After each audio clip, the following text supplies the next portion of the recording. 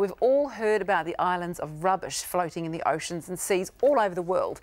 Here in New Zealand, we're all very proud of our clean, green image. But maybe the truth is out of sight, out of mind? We're joined in the Harvey Norman Lounge by Sea Cleaners founder Hayden Smith to talk about what he's doing to clean up the floating rubbish out of our own backyard.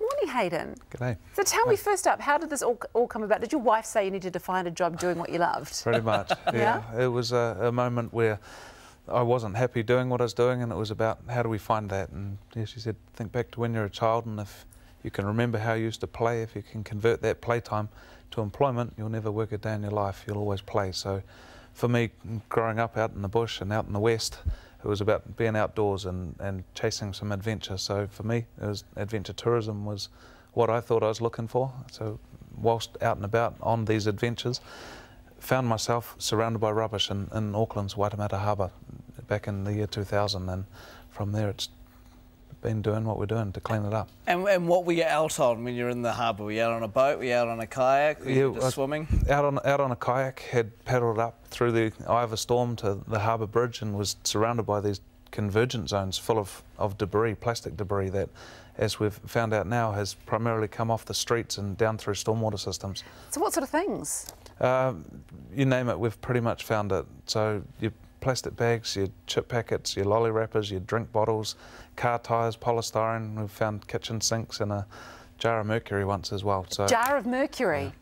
Yeah. That, that can't be a good thing. that can't be a good thing. No. But it is, I guess, uh, you know, what you find when you're out in the ocean, and I'm with you, it's so frustrating because you do see a lot of rubbish. Yeah. I know that I make the effort to try and pick it up, but you and your little kayak, you must have run out of room pretty fast. Oh, at, at that time, yeah, and, and it was more about trying to bring together the awareness to get the support to take this whole project forward and, and by getting the, the support we needed we were able to launch the first proper commercial boat and, and get underway. Mm. So how did you do it? I mean, how did, how did you get it off the ground? Uh, we managed to get the support across the, the region of Auckland to start with, with all of the, the mayors coming on board, with all of the cities that came in behind and, and local corporates that got into the project and really wanted to see it happen. And it's not just about picking up rubbish because for us that's the, the ambulance at the bottom of the cliff. It's about connecting the communities to, to help us do what we do and, and, really generate that awareness and education through being active out there doing it. Have we got better, Hayden, over the years at not throwing our rubbish or the amount that you're picking out of the ocean? Does it mean that we've got a bit lazy? Uh, in all honesty, I think we probably have got better, but there's so much accidental rubbish. There's so much debris that isn't necessarily come out of the hand of someone, but there's cats and dogs ripping open rubbish bags. You've got birds pulling stuff out of overflowing bins. The, the wind will blow, again, stuff out of these overflowing bins or cars driving down the motorway with their window open. The plastic prepaid parking permit sitting on the dash blows out yeah. the window. Oh, There's yeah. so many different scenarios. And why is plastic so bad in the oceans? Uh, well, what we've seen, it's, it's not such a an island of trash that is out there, but we're more realizing now that it's it's more of a fog that is strewn through all of our oceans and all of our waterways. And this plastic doesn't just remain as a, a singular item. It photodegrades into many smaller microplastic pieces that are infiltrating our, our ecosystem and, and food system. And then well. the fish could eat them, and then we yeah. eat the fish, yeah. and then that's not a good thing, is it? And what can we do as the public to, you know, help, I guess? Because clearly it looks like you've got a lot of members in Sea Change, which is great. Yep. But what can we do on our day-to-day -day lives? Yeah, uh, it's really about thinking about your your actions in regards to saying no to a, a plastic bag at the dairy or the gas station. It's about taking reusable shopping bags to the supermarket or looking for boxes to fill There's things you can do with taking reusable drink bottles to, to school or where the workout wherever you're going throughout you with the day. And then on top of that, we're really trying to encourage people to pick up an, one piece a day. It's about actually taking responsibility for mm. your own street frontage in front of your house or wherever you're walking. Just actually stop and pick up one piece? What if we all just pick up one piece? Mm. It's quite quite a lot to do right at the beginning. There seems to be more of an uh, idea, I think, with the younger generation about reusing and recycling things. I know at schools often say don't, you know, wrap things in Glad Wrap anymore. You know, get the resealable bags that you can use again and again and again and again, or do it in, in natural products as well. Those honeycomb or those honey wraps that you can get.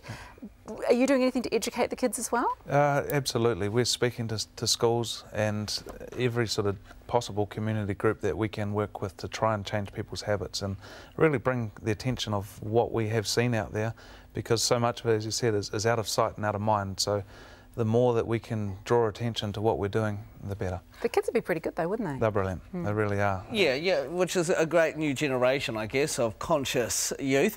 What size are you at now? You started off with just you and the kayak. Can yep. you give us a description of where you're at now in terms of the fleet, yep. the amount of people, where it's spreading around the world? Yeah, absolutely. So for the first 10 years, we really focused on developing the core base pilot model.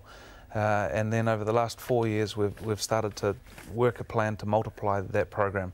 So we've got three boats out around New Zealand at the moment, from basically from the Bombays to Cape Reinga, mm. and with that, the staff to run that. But we've coordinated over 100,000 volunteer hours of the community getting involved, and for us, that's a, a chance to develop new leadership amongst those school groups mm. and the, give them the experience of, of what we're seeing to help us make those changes. And Do you have do you, sorry, do you, mm. you continue?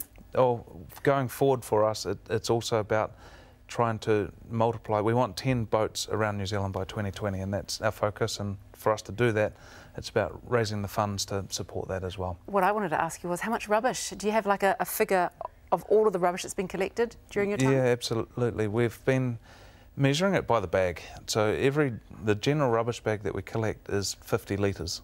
So we're now up over four and a half million litres of trash collected. How big would a 50 litre bag be, roughly? Are we talking this big? Or are we talking yeah, this big? Uh, like a black, between both. Like yeah, general general rubbish, rubbish sack. sack. Yeah, that's right. And how much did you say? Four and a half million. That's incredible. Yeah. wow. Well, thank you for doing that. Because imagine how rubbish the oceans would be if you weren't taking at least that's that astounding. out. astounding. Just around our shorelines. It's amazing. And raising awareness as well. And I hope you do get all the sponsorship, the the funding, and I guess the the ethos behind it to continue doing it. You are doing a fantastic job. Uh, so thank you, Hayden, for coming in. And yeah, I'm sure, thank you. Yeah, I'm sure I want to say thank you on behalf of all the Kiwis uh, for everything you have done. To find out more and how you can help, go to seacleaners.com. Thanks, Hayden. Appreciate it. Thank you very much.